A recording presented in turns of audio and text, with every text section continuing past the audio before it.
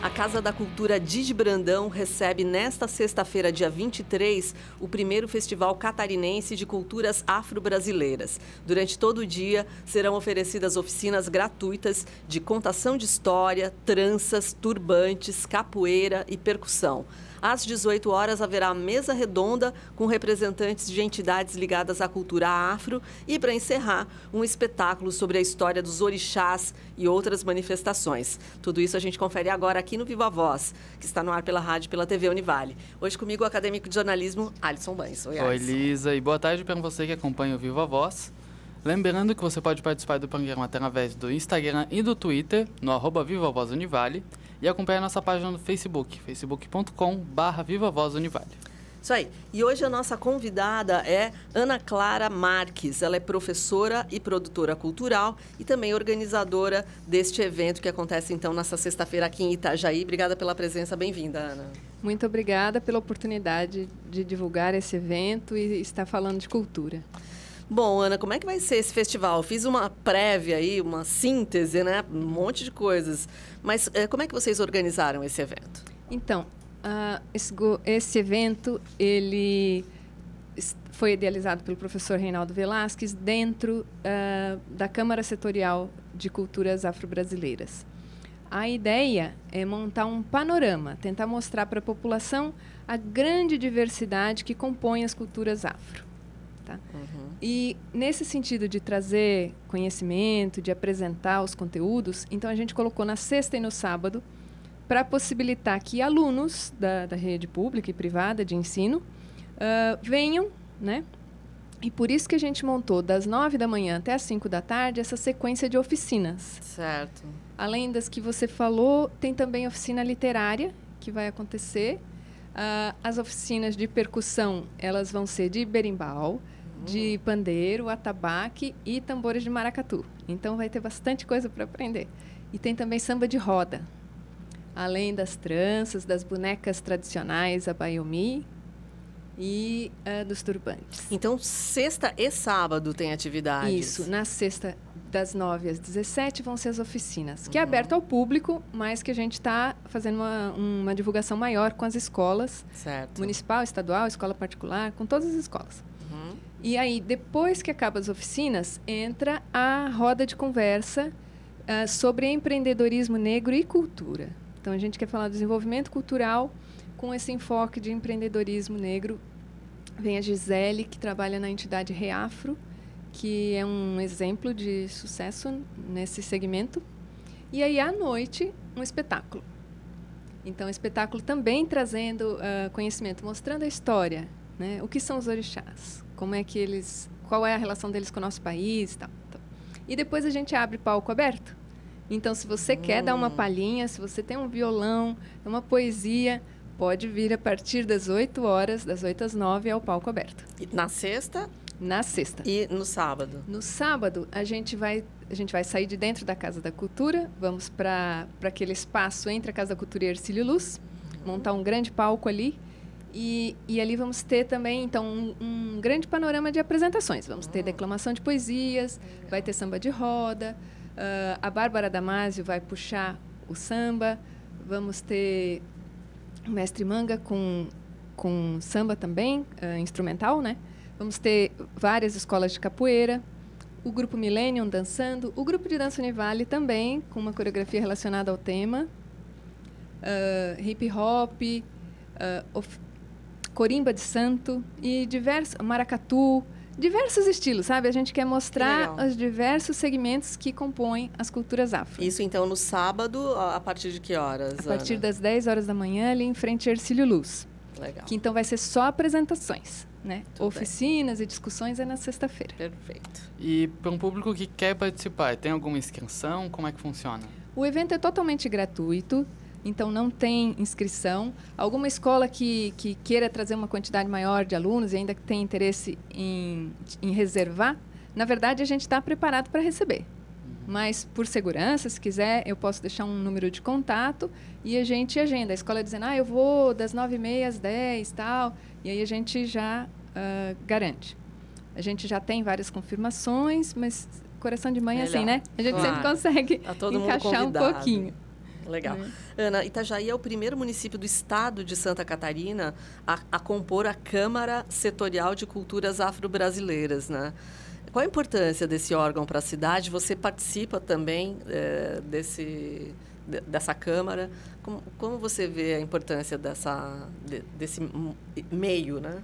Então, para explicar um pouquinho, ah, as câmaras setoriais elas estão incluídas, elas são a representação da população dentro do Conselho Municipal de Cultura. No, no Brasil e no estado de Santa Catarina, vários municípios têm seus conselhos, quase todos têm seus conselhos municipais de cultura, e aí tem as representações, teatro, circo, Certo. dança. Só que nenhum município tem uma representação das culturas afro que são, a gente chama culturas no plural, porque é, são tantas manifestações culturais que não cabe no singular, né?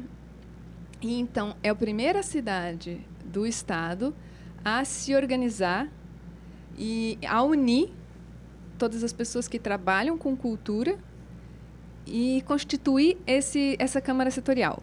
E aí, então, são pessoas da comunidade, entende? Não, não são representantes com cargos públicos, são Sim, pessoas da claro. comunidade que participam e, e nessa dentro da Câmara Setorial ah, conseguem se fortalecem para as ações, né? Para para conseguir as ações, para identificar os problemas, as dificuldades, como a gente pode melhorar. E é justamente a primeira ação que a gente identificou é que falta levar à população em geral o conhecimento do que são as culturas afro. E para levar esse conhecimento, a gente criou o primeiro festival catarinense de culturas afro do Vale do Itajaí.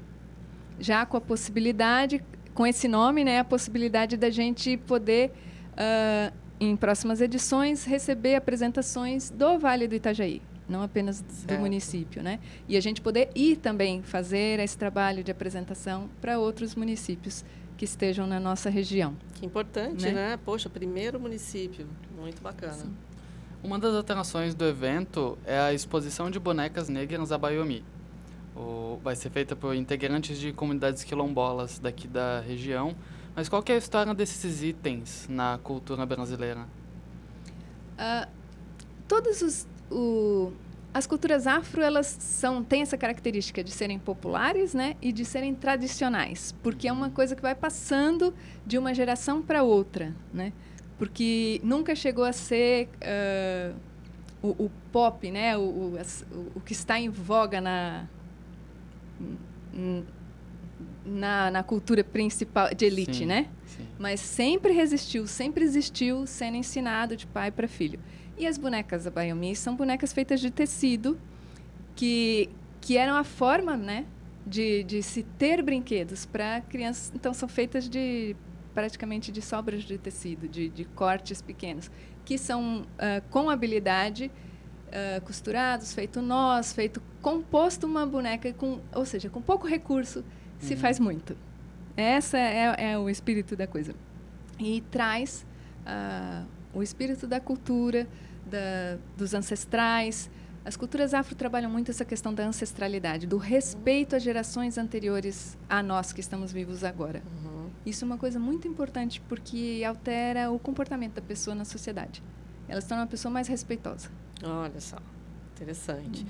Falando de, de cultura, culturas afro-brasileiras e tal, o que, que você percebe que ainda é, é bem presente? Porque o Brasil e, e a cultura afro eh, tem um casamento de longa data e muitas das tradições acabam eh, nem percebidas muito claramente pela sociedade, né?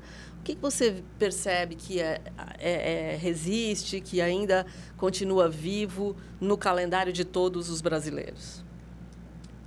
Olha, ah, a- o, o brasileiro ele tem por essência a questão da fusão cultural. Eh, Nós somos um povo muito cultural. Então a gente pega uma manifestação, é muito difícil que aqui no Brasil as manifestações permaneçam puras. A gente escuta uma música e o músico já vai pondo o seu jeitinho e tudo. Então, ah, o samba de raiz, que é o samba de roda que a gente vai dar oficina, seria um samba original. E a partir dele, todas as variações, até o atual pagode, todas as variações são expressões uhum. da cultura afro que vão se modernizando, se revitalizando, vão criando a partir um a partir do outro. Então, o samba é um grande ícone, né? Legal. Haja visto que, em termos nacionais, o nosso carnaval, que é a base de samba. É. Claro. E aí nós temos variações de um estado para outro. No, no, Nordeste, a gente tem o maracatu. Uh, no Amazonas tem aqueles uh, bois, né, que, que são que não é o nosso boi de mamão, é, é uma variação. Bumba, é. Bumba, meu boi, eu acho. Mas tudo vem aí aí é uma mistura entre a tradição indígena e a tradição africana. Uhum. Mas então nós vamos fundindo é. as expressões culturais e criando outras, né? Legal.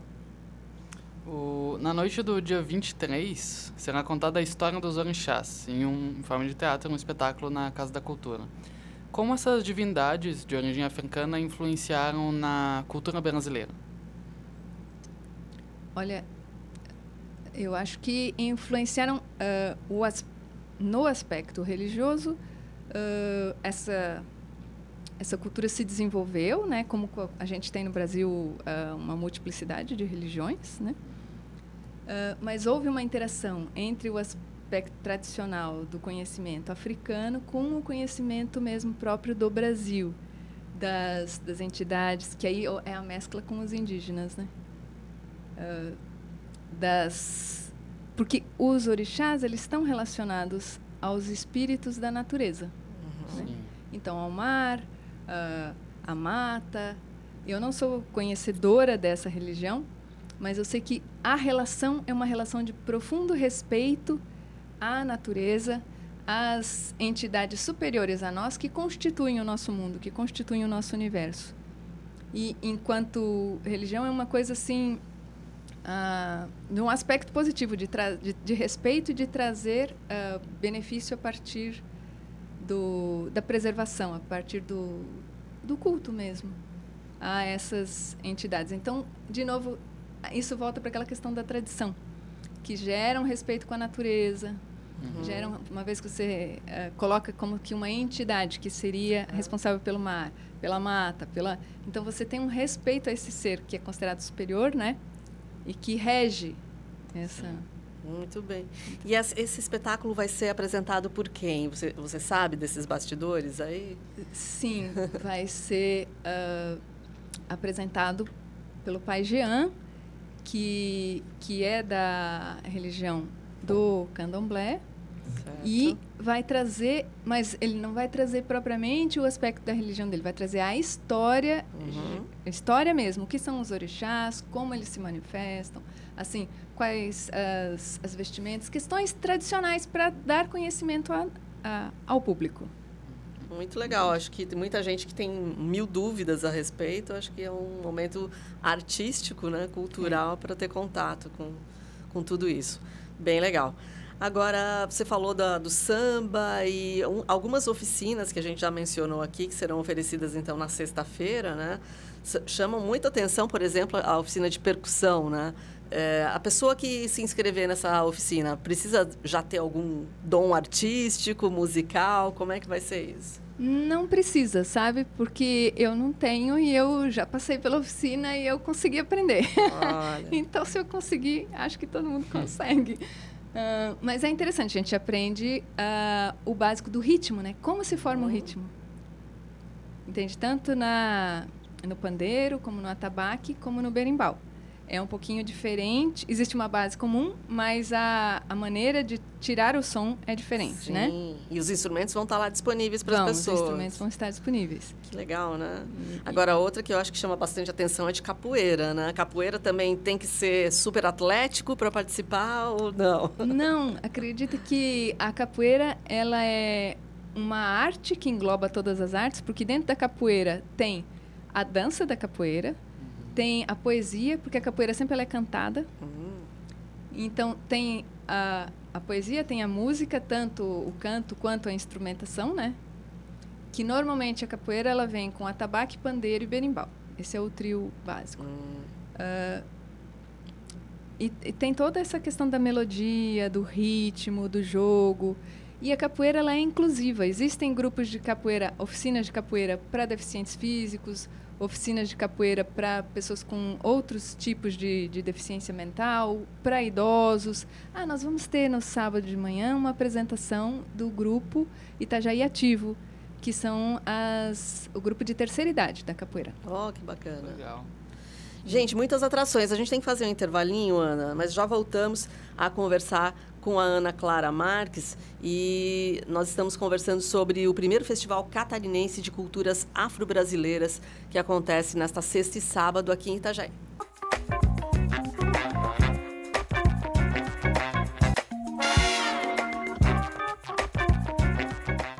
Voltando Viva Voz, hoje falando sobre um festival de cultura afro aqui em Itajaí, com a professora Ana Clara Marques. Ana, o, você pratica capoeira também, né? Além do, de coordenar o projeto. O que, que você pode falar um pouco para a gente? Que além de ela ser uma atividade física, ela tem um peso histórico muito importante e toda uma filosofia por trás. O que, que você pode contar para a gente sobre isso? Então, sim, eu estou auxiliando né, a comissão organizadora do evento e eu sou aluna de capoeira do grupo de capoeira Abadá, Abadá Capoeira, que é uma instituição, é, é um dos maiores grupos do Brasil e do mundo em capoeira. E a capoeira ela existe, uh, acho que desde a época da escravatura. Ela se originou como uma forma de comunicação entre os diversos grupos de negros que vieram de países diferentes, eles tinham idiomas diferentes e, e eles foram aprendendo a se comunicar pela movimentação. Então foram eram códigos uhum. os movimentos. Uh, com o passar do tempo, com, com a libertação da escravatura, uh, houve posteriormente, como não, não houve assim a liberação da escravatura e uh, condições de oportunidade de emprego e tudo, então os escravos ficaram à mercê, né? E os ex-escravos e, e foram uh, utilizados para algumas ações que, que foram consideradas como, como arruaça. Porque haviam dois partidos, o liberal e o conservador, nessa época. Essa história que, na verdade, quem deveria estar contando é o professor Reinaldo Velasquez, que ele tem profundo conhecimento sobre isso. Eu sou aluna dele e, e por ter aprendido, então estou aqui nesse momento repassando. Mas, então, houve ali uma questão política de uh, se apropriar desse desse uso dessa prática, né, de, de dança e de luta, para causar algumas arruaças de interesse político. E aí houve um decreto que proibiu, né? proibindo a capoeira. Então a capoeira desde o início da República ela foi uh, com esse decreto do Marechal Teodoro da Fonseca ela foi proibida de ser praticada ao ar livre. Uhum. E só que ela, como tradição, como ela sempre incluiu a música, sempre incluiu a dança, sempre foi uma manifesta uma forma de união. E até as músicas da capoeira nesse momento eram músicas bastante tradicionais para que eles não se esquecessem do seu país de origem. Então, é, essas coisas perduraram. Depois, a capoeira foi com o mestre Bimba, isso já na época de Getúlio Vargas, o mestre Bimba conseguiu uh, desenvolver uma metodologia, uma variação da capoeira, que foi a capoeira regional, e trouxe a capoeira para recinto fechado. E conseguiu se aproximar de Getúlio Vargas, apresentar ah. o estilo de capoeira.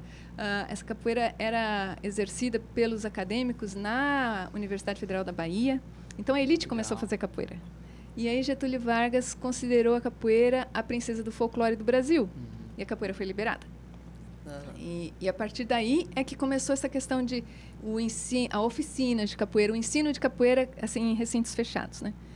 E a partir de aproximadamente da década de 60, o mestre Camisa, que foi o, o criador da Abadá Capoeira, ele criou uma capoeira para pessoas que não têm muito jeito para capoeira. Olha só. Porque ele próprio se considerava que não tinha o corpo perfeito para capoeira, né? É, porque tem algumas manobras bem radicais, e, né? É, então ele foi criando uma série de movimentos e coisas que que é daí que deriva toda essa capoeira para qualquer tipo de pessoa, para pessoas com algum tipo de deficiência, para pessoas uh, idosas, para pessoas obesas, para pessoas que não têm aquela estrutura física perfeita, porque já foi feita pensando nisso.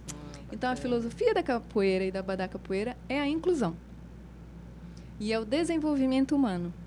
Uma característica do grupo Badá Capoeira aqui de Itajaí é essa questão da, de trabalhar com as múltiplas inteligências, com a inteligência do nosso corpo, com a nossa inteligência emocional, com a nossa inteligência mental.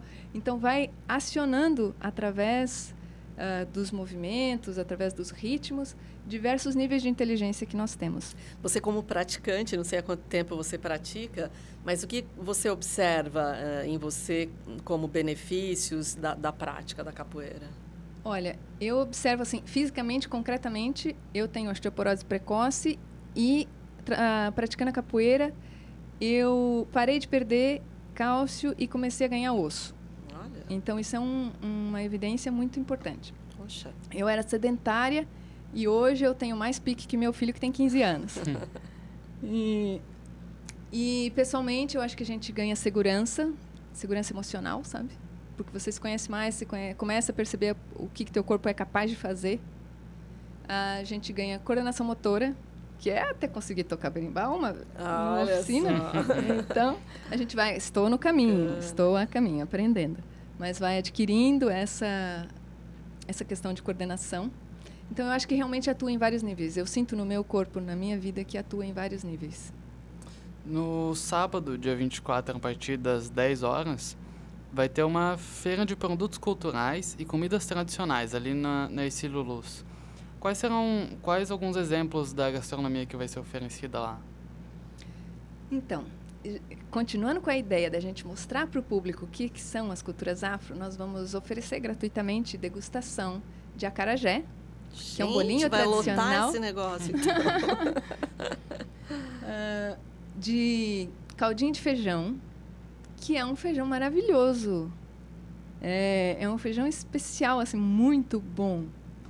E de uma tá bebida, de uma bebida que é da época dos escravos, que ela se chama consertada. Hum. É consertada porque é uma bebida que tinha dado errado, e aí os escravos foram mistura mais uma coisa e outra coisa, e acabou que eles chamaram, ah, ficou consertada. E ela é alcoólica, né? Para se tomar só um pouquinho, para experimentar.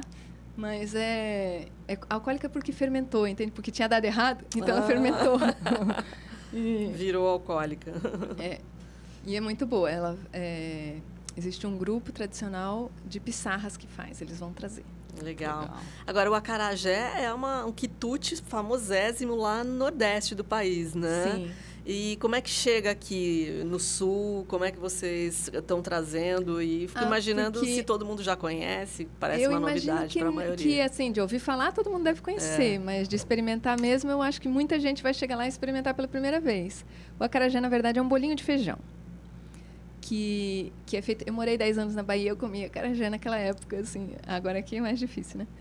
Uh, mas que o bolinho em si é uma massa e dentro você põe os diversos temperos, pode pôr uma série de coisas que vão dando esses múltiplos sabores que tem o acarajé. Quem vai fazer é a Jaqueline, uh, que é uma pessoa aqui da região. Uh, ela propriamente nem não é afrodescendente, mas ela tem essa tradição do acarajé. Ela vai trazer para nós uh, e vai finalizar a preparação ali mesmo para as pessoas entenderem é. um pouco como é que chega Isso. nesse prato. E eu queria só fazer uma, uma, um complemento. No sábado, porque eu expliquei a filosofia a partir do grupo de capoeira ao qual eu pertenço, mas esse festival é uma união de todos. Então vão ter vários grupos de capoeira, vários mestres, contramestres, uh, de diversos grupos, todos unidos é, em benefício né, da arte e da cultura. Muito legal. O evento vai ter alguma participação de um movimento é, dos direitos negros daqui de Itajaí? Então, a Câmara Setorial, ela é, uma, ela é aberta à comunidade, então qualquer pessoa que queira participar pode participar. O festival é uma ação da Câmara Setorial e a Câmara Setorial age na cultura. Nós, os, os membros da Câmara Setorial, individualmente, podem ter uh, qualquer ideologia política, qualquer tipo de religião, qualquer atuação externa. Dentro da Câmara Setorial, nossa ação é cultural. Mas então, nós temos membros na Câmara Setorial que são do grupo ANANG, que é da Associação dos uh, Simpatizantes e, e, Naturais de Angola. Hum. Eles vão trazer exposição de artes visuais. Legal. Nós temos o grupo Mariama, de mulheres, Vamos ter representantes da CERIT, que é a Secretaria de Relações Institucionais e Temáticas. Uh, vamos ter os diversos grupos de capoeira, vamos ter a Frente Negra, que é um grupo de jovens aqui, universitários aqui de, do, da Univale, né? Uh, e me perdoem se eu estiver esquecendo algum dos grupos, porque são muitos, mas então uhum. diversas pessoas que, além da Câmara Setorial, além da atuação cultural, participam de outros grupos. Uhum. Mas na setorial a gente fala de cultura. Perfeito. Ana, agora vou voltar naquele momento da roda de conversa que você já mencionou, que é uma roda sobre empreendedorismo e difusão das expressões culturais brasileiras, né? É, qual vai ser o enfoque ali? Qual vai ser a proposta? A ideia é, bom, trazer um pouquinho de dados sobre empreendedorismo negro no Brasil uh, e mostrar quais são as oportunidades, né, que existem. Porque eu acho que tem que se trabalhar muito essa questão de dos afrodescendentes perceberem suas oportunidades, perceberem a importância do seu potencial e, e como é importante cultura, uh, agora falando de cultura de maneira geral, que a cultura no nosso Brasil ela não é tão valorizada. A população tem a impressão de que cultura não dá dinheiro, não gera dinheiro, que, que é uma coisa que talvez não seja prioridade, mas cultura gera muito dinheiro para o país.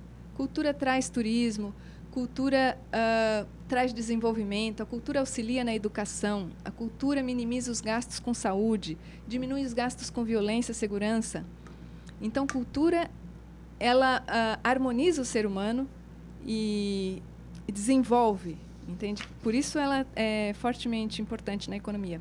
Então, o enfoque vai ser esse de quais são as nossas estatísticas no segmento de empreendedorismo afro e como a cultura pode ser uh, utilizada dentro do empreendedorismo. Então, Ana, o programa está chegando no final já, a gente está indo para o finalzinho, mas você quer fazer um convite para um pessoal para participar do festival? Sim, eu gostaria de convidar a todos a virem na sexta e no sábado. Quem trabalha só puder vir à noite para o espetáculo, ou no sábado, ali no Calçadão Dercílio Luz, em frente à Casa da Cultura, vai ser uma grande festa. A gente vai ter um, um show mesmo, com várias expressões culturais sendo apresentadas tudo gratuito. A feira de produtos, além da. O principal vai ser alimentos, mas vamos ter outros produtos uh, tradicionais, artesanato, inclusive a culturada vai estar junto. Então, venham que é uma, uma celebração, uma festa. E eu não posso deixar de agradecer a Fundação Cultural de Itajaí, que está nos dando apoio, porque tudo isso é voluntário. Nossa, nosso trabalho é voluntário e a, a Fundação Cultural está nos apoiando com infraestrutura, né? cedendo a Casa da Cultura, cedendo uhum. os equipamentos, palco, toda a infraestrutura que a gente precisa para realizar esse trabalho. Muito bacana, isso aí. Vale conferir, então, o primeiro Festival Catarinense de Culturas Afro-Brasileiras. Ana Clara Marques, que é uma das organizadoras desse evento, produtora cultural. Obrigada pela presença. Agradeço a oportunidade e agradeço a todos uh, por esse momento, convidando novamente todos a participarem. Isso aí, a gente fica por aqui, né, Alisson? Isso, o Viva tá no Instagram e no Twitter, na arroba Viva Voz Univale, e também no Facebook, facebook.com.br Viva Voz Univale interajam com a gente. Isso aí, tchau, tchau. Tchau.